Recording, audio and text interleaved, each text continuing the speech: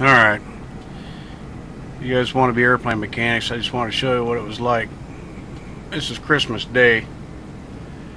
It's, uh, as you can see, 11 o'clock local. This is Kansas City. The temperature outside is 5 degrees, winds about 40 knots, and we're uh, going to change a starter here on this uh, Airbus A319. It'll take about 35-40 minutes if everything goes right. Uh, if you see the snow there underneath the cowling, that's where I'll be lying. You lay on your back. Starter's right inside that big cowling right there.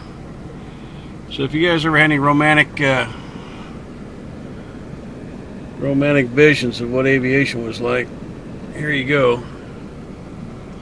I'm all by myself. There's nobody out here in the airport, as you can see. You get hurt out here, you're just screwed. So you gotta work careful, work smart. We'll see how this turns out. I'll keep going here in a minute. Don't worry about it. Alright, I'm back. Started to change that starter. Wasn't the starter. The problem, we took the starter out and uh, it was a gearbox. So the repair went from 25 grand to 100 grand. So US Air ain't gonna be happy about that. The airplane will be out of service for a while. Got a snowplow racing with me here. But uh, anyway, back down here to Northwest Airlines. They got an Airbus that's broke too, so we'll find out exactly what's wrong with them. Most folks never see the airport from back here.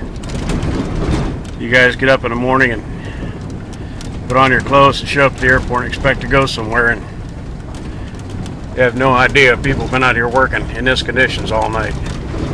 I've been laying in the snow for about three and a half hours so far today. It's after midnight. I was supposed to have been home asleep by now.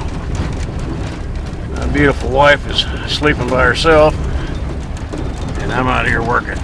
So, you guys want to be airplane mechanics? This is how it works. Anyway, we'll check back here in a little while.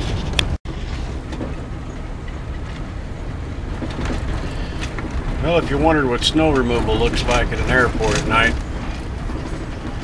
here you go, man. And this ain't all of them. These guys been out here all night, like I've been out here. It's what, 2.45 in the morning now?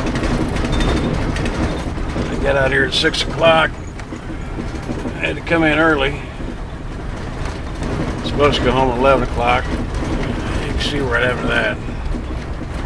And all these guys are also working overtime. So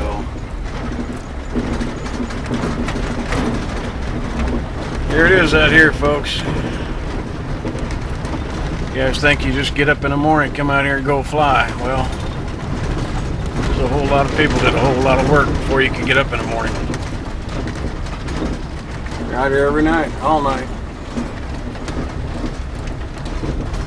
Anyway, this is a little iPod wife got it for me for Christmas. And uh, we're just kind of checking it out, see how it works out here at night.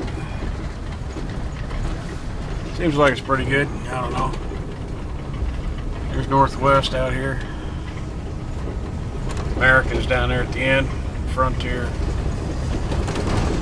This is Kansas City at night.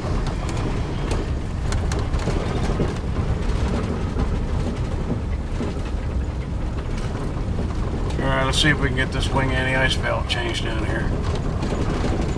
Pilot wrote up that his uh, wing anti-ice valve stuck open after came in and landed in an Airbus, so I'll go see if I can fix it. One more thing to fix. Yeah, nice and smooth out here too, huh? Alright, later.